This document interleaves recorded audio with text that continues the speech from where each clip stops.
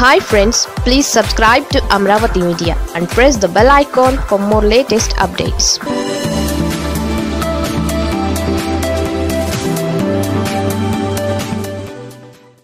ఏపీకి కేంద్రం new year gift. Jagan full happy.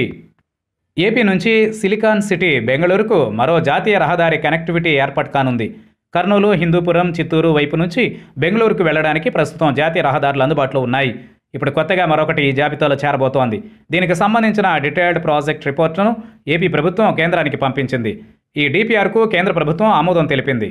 ప్రకాశం జిల్లాలోని ముప్పవరం నుంచి శ్రీ సత్యసాయి పుట్టపర్తి జిల్లాలోని హైదరాబాద్ బెంగళూరు జాతీయ రహదారిపై ఉన్న కోడూరును అనుసంధానించేలా ఇది నిర్మితం కానుంది. కోడూరు వద్ద హైదరాబాద్ బెంగళూరు హైవేను కనెక్ట్ చేసేలా డిపిఆర్ను ప్రభుత్వం సిద్ధం చేసింది. శ్రీ సత్యసాయి జిల్లాలోని గోరంట్ల ఓబులదేవర చెరువు కదిరి మీదుగా నిర్మించడానికి అవసరమైన భూసేకరణ పనులు దాదాపుగా పూర్తవుతున్నాయి. ఈ జాతీయ రహదారి పూర్తిగా గ్రీన్ ఫీల్డ్ హైవేగా రూపుదిద్దుకోనుంది.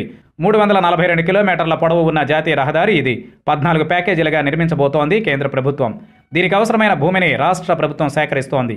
ఇప్పటికే శ్రీ సత్యసాయి పుట్టపర్తి జిల్లాలో భూసేకరణ పనులు దాదాపుగా తుది దశకు చేరుకున్నాయి. అదే సమయంలో కడప జిల్లాలోనూ భూసేకరణ పనులు శరవేగంగా కొనసాగుతున్నాయి.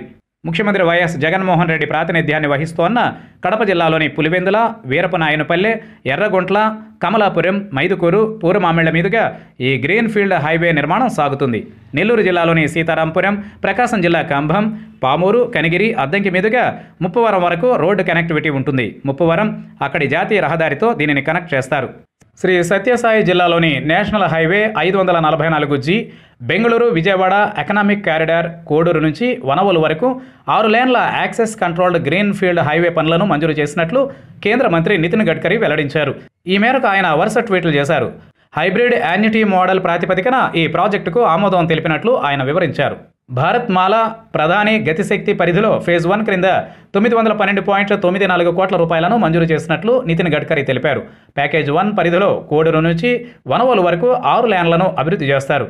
కేంద్రం నుంచి తొమ్మిది వందల పన్నెండు పాయింట్ తొమ్మిది నాలుగు కోట్ల రూపాయల నిధులు మంజూరు కావడంతో కోడూరు వనవోలు మధ్య ప్రస్తుతం ఉన్న సింగిల్ లైన్ల రోడ్లను ఆరు లైన్లుగా విస్తరించడానికి అవసరమైన నిర్మాణ పనులు త్వరలోనే మొదలు కానున్నాయి.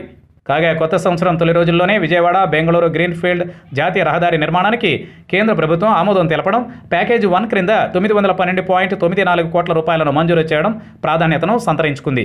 ఇది వైఎస్ జగన్కు సంతోషాన్ని కలిగించే సమాచారమే.